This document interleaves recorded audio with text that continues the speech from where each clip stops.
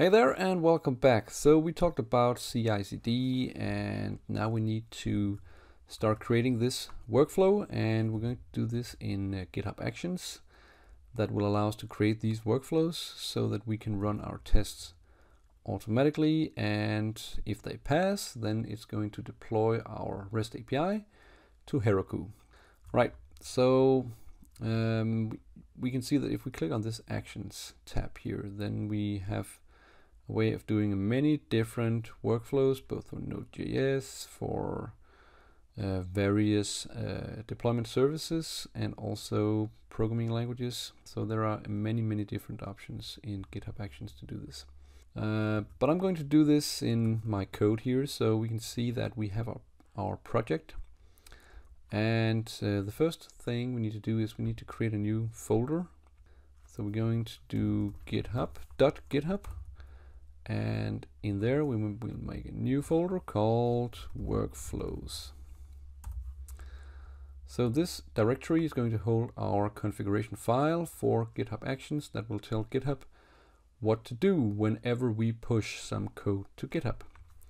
So we create a new file called main uh, YAML right here and in this file I will write the instructions for GitHub. So the first setting is that we need to have a name. Let's just call this node JS CI CD could be. Then we need to provide an event when it's going to do this uh, testing and deployment. And we're going to say that whenever we push something to this branch, we, we can actually specify multiple branches, but I just have a main branch. If we go to our repository, we can see that we got the main branch. So whenever I push some new code to GitHub, I want GitHub to run my test automatically. And if they pass, I want it to deploy it to Heroku. So on push on this on this branch, I would like to run uh, one or more jobs. So I specify jobs, and the first job I would like to have is called test. And the test, uh, for the test, I also need to specify a name for that. Let's just call this test. I need to specify the architecture that is going to run on. So Ubuntu latest. And then I can specify a strategy. And because we can see that this is running on node version 14 and we have npm as well. So I would like to specify that I want to uh, perform these tests on uh, one or more node versions so I can specify, let's just take the beginning, let's take 14 because I'm running 14 for this, but I could specify multiple versions. I could specify 10 like this. And then GitHub Actions would uh, automatically run the tests on several environments. So we can specify 14x here in the beginning. So that was the node version. Then I need to specify a couple of tests. And first I need to specify a name. Let's just specify, whoop, specify checkout because I want, first I want GitHub to check out my code. Then I have to specify a action, a predefined actions, uh, and this is called checkout version 2 and this basically means that uh, we have predefined actions that uh, are made in uh, GitHub that will allow us to uh, to check out this repository. This is uh, that is what it means that it's going to check out the repository. And I need to do this with with a fetch depth of zero so I get the entire repository. Then I need to Whoop. Then I need to also set the node versions up here. I need to install the node versions and set them up. So I will go call this use node, oops, node.js. And then I can specify, because it's going to, now I only have one node version, but if I had multiple, it would uh, iterate through each uh, node version and uh, set them up and then ultimately do the test for each node version. So I can specify my matrix here that I have, uh, oh, I made just a small mistake. I need to make a matrix. So we specify the strategy and matrix and then the node version because then I can uh, type matrix in here and node version. So then it's going to take node version 14 and it's going to oops then it is going to let's see here then it's going to use another predefined action called setup node and that should also be version 2 so it's going to set up this particular node version that I uh, have specified in my matrix and then it's going to do this with this node version. And we just copy the code up here. Whoop. Because this was just a name. This was just a name for our step. And this is the actual command or the code that is going to tell GitHub that I want to set up node with this version. Right so the next the next step is called npm install build and test. So in this step we're going to install the node or all the dependencies that is uh, required for it to work and we're going to build the project and we're going to test it. So it's going to run the test uh, in this step. So in here we're going to run couple of commands and we will run npm install npm test so it's going to install all the dependencies because we can see that for our test we need these dependencies and we need also some dev dependencies uh, that includes Mocha and Chai in order for the test to work. So we're going to install all the dependencies and we're going to run the test afterwards. So one important thing to notice is that when we run the test manually, we would like to do this on a test database we don't want this to happen on the production database. So we need somehow to specify to GitHub that it shouldn't use another database, just like we did with our test. Because in our test, you can see here when we do our workflow, or in the setup I think it is, we run node env test. This will tell uh, the test environment that it should use another database, another test database that is specified in the env file. And uh, we need somehow to tell GitHub that uh, it should set the env variable because we usually we don't commit the env files to the GitHub repo. One way we can do this is that we also have GitHub Actions have an env setting here where we can create environment variables that's going to map to the env and in here we can specify the database host that we're using in the test. So if we specify database host and then we, uh, let's just do like this.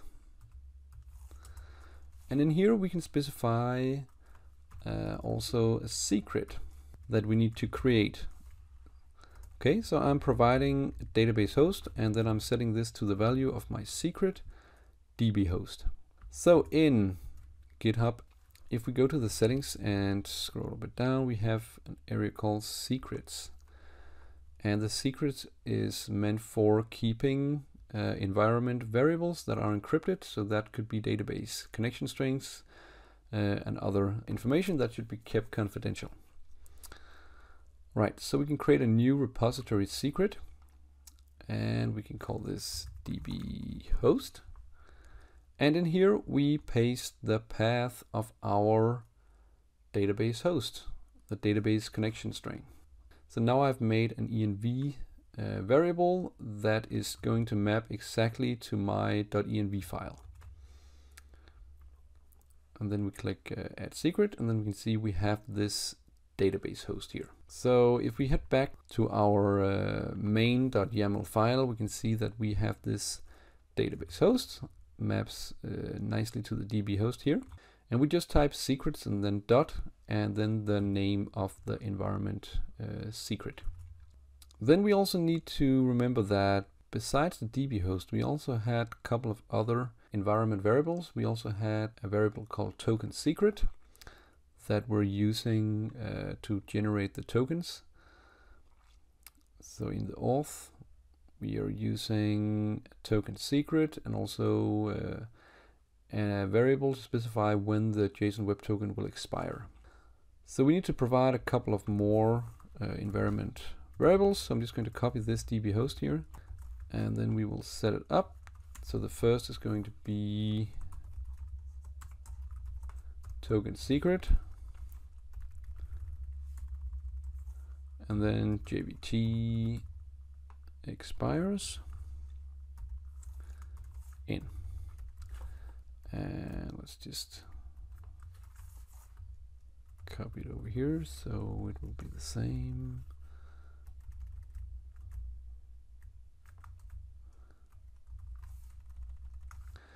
And then we need to create these variables in GitHub Actions as well. So we just create a new repository secret called token secret. This could be anything that you specify. So um, could be whatever you specify here, just a number whatever. Probably something more secure than that. And then we need to specify also the JWT expires in. And we can say 24 hours before it will expire. Right, so we got these repository secrets now that our API needs in order to work and it also needs them in order for us to run the test because some of our test will test if we can actually create a, a user or log in a user, get a JSON web, web token and create a product. All right, so we have set all this up here now and it is time to try to commit this. So we basically start a terminal here and we can see that if we do git status we have modified uh, package JSON, also GitHub was uh, created. So let's just add this.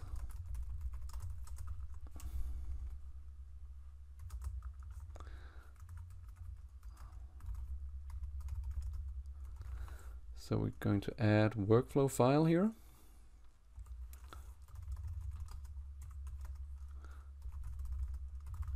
And then we push everything to our uh, GitHub repository. And then we can see if we head over to our code, we have um, created the workflow file. And if we head back to actions, we can see that GitHub has detected that we created a new workflow. It has queued our workflow. It's just testing it right now. And if we didn't have any errors in our script, let's see what happens. we can actually click on the on the workflow and then we can see that we actually have an error. Then we can click on the on the matrix test here. Okay, so we can see that we get an error here that it says timeout of 2000 milliseconds exceeded. And it's probably because our test is taking, we can see that the first test failed and the rest of them actually passed. So it might take some time to uh, connect to the database and also to launch the test. So if we go to our Mocha file here, Mocha RC we can see that we have a timeout of 2000 uh, millisecond. And if we increase this to just, let's just put this to, uh, to 5000. Let's see this. And then if we commit again, uh, let's just see here. Change test timeout.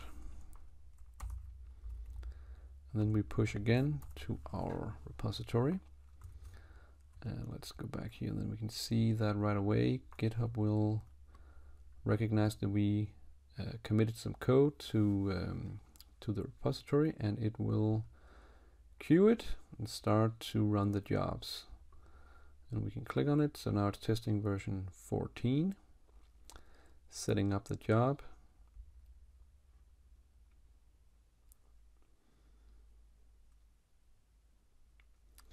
So now we can see that uh, it's just running some post checkout here. Let's see if we click on the npm install, build and test that it is running on port 4000, connected to, uh, successfully to MongoDB, and it has done all the tests. And we can see actually that the test uh, completed in just under three seconds um, due to some connection thing, I think. Uh, and but they all passed, so that is really nice. So in the next video, we will start to build on this and create the next step where we can uh, create continuous delivery, where we can deploy it to Heroku if our tests are passing. And if they fail, then we don't deploy it because we don't want to have code that has failed tests uh, that will be deployed. Okay, so uh, hope you make this work and uh, have fun with this. Bye bye.